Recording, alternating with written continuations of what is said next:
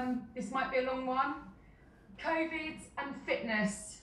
This is because it, it, might be a bit of a list. How are how are the likes of Kante, Silva, or Havertz, Azpilicueta, Christensen, Chalobah, and anybody else that you might want to tell us about? well, there are not so many news, which is maybe good news. So of course the long-term injuries will not come back, but uh, from this game we just had a cramp uh, with Azpilicueta, no injury. Um, Kai's finger is uh, pretty much okay to play football, so they will take care about it, our, our doctors and, and physios. And uh, Andreas Christensen was in training yesterday. Hopefully, there will be no reaction. We have another training session later. I have to speak to the doctors later, like after after press conference, and uh, hopefully stays at least the situation stays at least like this like that like this in a moment because that will give us some more options at least.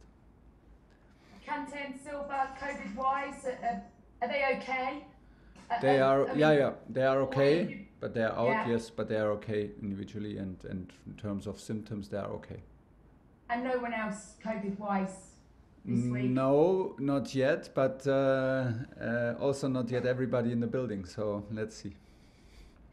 Um, given how tough the last few weeks have been in terms of COVID, and, and we really hope, don't we, that the worst is, is behind us, um, and given the injuries that you've had, uh, have your plans at all changed in terms of January and bringing people in?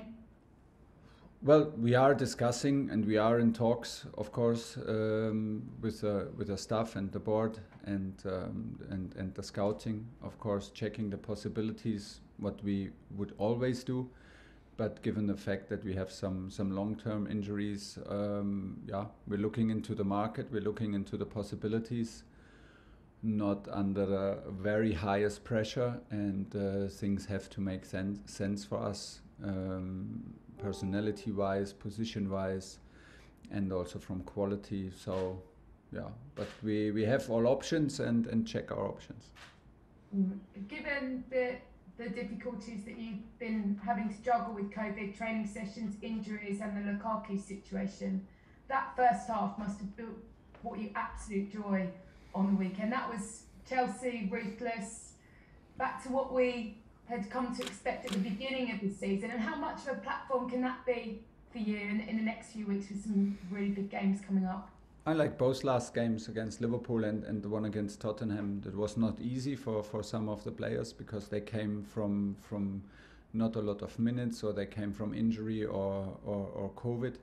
So they stepped up and it was an important match. was a semi-final. was uh, was a derby in London. was against a strong opponent, strong coach who came from a, from a good run of results. So, but uh, the way we played was so focused and uh, a lot of determination that gives us a lot of trust, or more more or less the again the proof that we can trust our players and we can trust ourselves and that the group can trust. They have the ambition, they have the mentality to give everything and and to try their very best in every single game.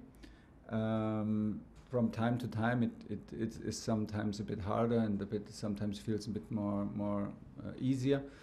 Uh, it was a, it was a strong performance uh, overall, very very focused and uh, in in yeah in all parts of the game very determined and uh, was a nice team effort. So yeah, we are happy because it was a deserved win, and and from there we go. The last two games showed a good spirit, showed good quality, and uh, it's very important not not to lose the faith and not to lose the trust because we still struggle um, from from from COVID and, and injuries, and that's why we need these kind of experiences to to not lose our faith or and and and and still believe in what we do. And it was was very nice to see.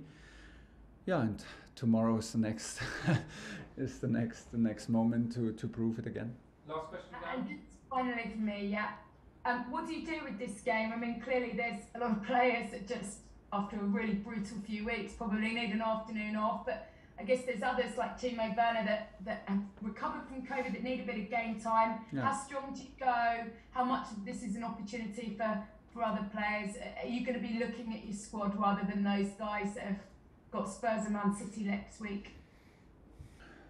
Yeah, we will find. We have to find the balance in between um, because we, we want to also be, be reliable and, and, and be also fair to the guys who play now uh, after after injuries or after COVID. That they also have that we have a mix with also guys who are used to uh, have some more minutes in the last games, but we need to find a, a good balance. Uh, I think uh, we have five changes, which which gives us uh, a lot of options, which which is good. And and and of course we want to use the match to to get some minutes into the guys who desperately need it and and want it, like Timo for example. And um, yeah, but uh, it, it's still a training, and it's still like uh, one or two COVID tests uh, to do. So hopefully the, it, the the situation stays at least uh, like it is now and then we will find a, a, strong lineup because we will we will show all the respect to to the G team and and uh, club of Chesterfield. It's it's uh, FA Cup, and uh, if you want to go to the next round, you have to win this match, nothing else. John South from Five Live. Hi Thomas, can you hear me there? Yeah. You can. Hello. Um, is this again another chance for Ross Barkley? Um, and is there a possibility he might go out on loan in January this month? We haven't discussed it yet. Uh, it depends uh, on on what Ross wants and what, what, what possibilities there are, if there are possibilities, and what makes sense. So let's see. There's uh, always a chance. It's not only about like, oh, now is FA Cup and now you have a chance. There's always a chance to make it to the team, to the squad, and onto the pitch. Uh, especially when there are a lot of COVID and and um, and and injury cases so the situation has not changed, not for us, not for anybody else, and we will take the decision later. He needs to do a good training, show that he's ready, and then we will do a, a decision uh, tomorrow morning. Talked about the transfer market and potential players coming in. Yeah. Um, is Emerson is Emerson one of those? Are you keen to have him back from his loan spell? I will not give you any details on that, but in, in, in general, uh, I will not I will not uh, hide from the fact that we have a long-term injury with with uh, Ben Chilwell as, as our left wing back who will miss the whole season. And uh, of course, we, we, we know Emi, we appreciate him as a player and as a as a as a person in general. He had such a huge influence, although he did not have a lot of minutes uh, last season because he's a top guy, top professional and um, and he is still a Chelsea player. But it's not only what I wish for. It's also we need to we need to to evaluate the situation. But we're looking into it on this position, and Emma is one one of the options. And I will not comment further.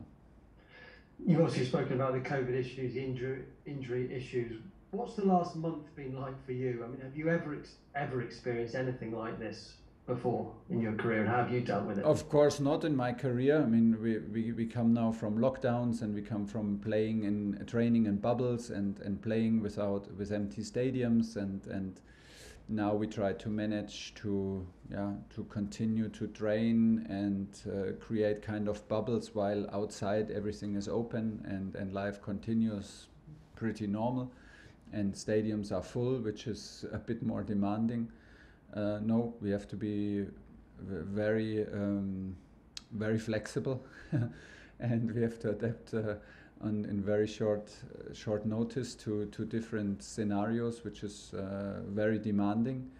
And uh, we wished it was different, and still we are privileged to to do our job and to continue playing football, which we love but we are at some moments, as you know, at some moments we are we are concerned about the health and uh, and the constitution of the players. Uh, in some moment, it's a it's a bit better. It's a bit of an up and down. Ian Abrahams, Talk Sport. Thanks, Adrian. Happy New Year to you. Hi, Thomas. Happy New Year. How are you? Happy New Year. Thanks. I'm fine. Good. Um, this is what the magic of the FA Cup is all about, isn't it? Chelsea with loads of money and trophies, uh, trophy cabinet you could run from here to central London up against little Chesterfield. Um, and the fact that only once before, when Luton Norwich eight years ago as a non-league team, ever gone to a, Premier League round and won. So you're, you're big favourites. I mean, this is a game you can't lose, right? You can lose any game in football. That's why the game is so popular. So you will never hear me say that we can't lose in front of the game. This will be hugely arrogant. Uh, this is not the attitude how we want to approach this game tomorrow. Of course, we are favorites, and uh, um, in the opposite, for example, to, to, to Germany, where you would like switch the, the the home advantage to the to the lower team, we have the advantage of having no travel and and uh, that we can play in front of our spectators in our stadium. So yes, we are the huge favorites. Yes, we we, we want to win and we demand uh, we demand it from ourselves. Still, we respect the game and um, uh, the, the game and and any opponent. And uh, yeah, you can demand it from yourself. If you if you think it through in any consequence, you have to deliver and deliver performance. So we need to be to, we need to be ready, and we need to have a, a strong squad and a, and a squad that is ready to to enjoy these these minutes because.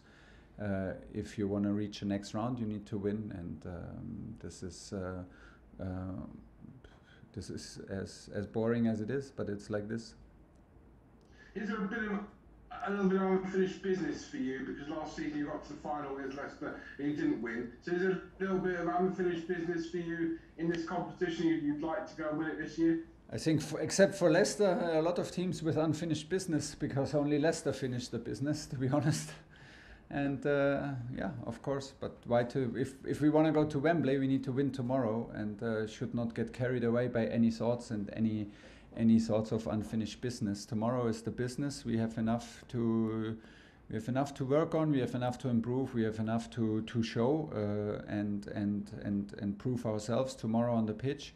And this is what it what it is all about. Don't don't judge the opponent. Don't judge the importance of the game. Just just go and, and do our thing and this is what we demand i demand from myself and i will demand from the players and, and finally do you think one of the biggest signings you could make in this January transfer window will be to get Antonio Rudiger to sign a new deal because you've turned his fortunes around, you know, and um, I think that there are many, many teams around the world that would like to sign him. So, uh, are you planning on having lots of conversations, taking him out for coffee? You know, sort of making sure that he signs on that dotted line. I don't know. I don't know if that helps. If I take him on a lot of coffees, maybe it pushes him out. Uh, I don't. I, I don't feel that he needs a lot of coffees with me, and uh, he's a guy who needs uh, who needs to, to trust you on a on a on a. On a he needs to feel the connection. He needs to feel the trust, and he, he wants to to feel it by minutes and by actions. He's not. I don't. I don't feel Tony that he needs a lot of words and a lot of pampering and, and coffee talks and and and invitations to dinners and whatever. He is a top professional. This is what he proves. He's very important. Nothing has changed. We're in, in talks. It's in good hands because I trust the club 100% and I have uh, trust in my player. So it's uh, it's a it's a no problem situation for me. Obviously, also for, for, for Tony, he can he can still deliver. He did a fantastic match now in in a back four, and uh, um, uh, so He's uh, super reliable. Nothing has changed. The, the, the points of view have not changed. And once something changes, you will be one of the first to know. Last question in this section, Jerry Cox. Hi Thomas. Hi. I know um, earlier in the season you said you saw no reason to change from a back three, but um, you played the back back four yeah. against Spurs uh, uh, with great effect. You really seem to unlock your um, attacking instincts and so on. Is that something you'll now consider more going forward? Yes, but it has to make sense. Uh, I always told you uh, why why should we change? It's successful and, and it suits our players. But for a back three, you need three central defenders. For a back five, you need three and two wing backs. We simply did not have uh, the players available to, to play a back five. So uh, we took the responsibility and the risk and, and uh, shifted into a back four uh, while we were attacking. This is uh, this possible. I think that the differences are not that big. If it suits the players and their positions, which which it did for this game, we should be always open for it. But uh, the most important is how we play in, in the system and, and how lively we play and how, how courageous we are within the structure. Structure is important for us, and and we protect ourselves with structure, and, we, and the structure can help us uh, to be stronger as a as a team. but uh, the most important uh, will always be like how the players live up to it, and they did very very good. They were very focused, very uh, and and uh, yeah, also very lively within the structure, very disciplined at the same time. So it suited us good for this game. We did good, but um, and and it can stay an option. Um, but uh, no no matter what we play, the, how we play is, is more important.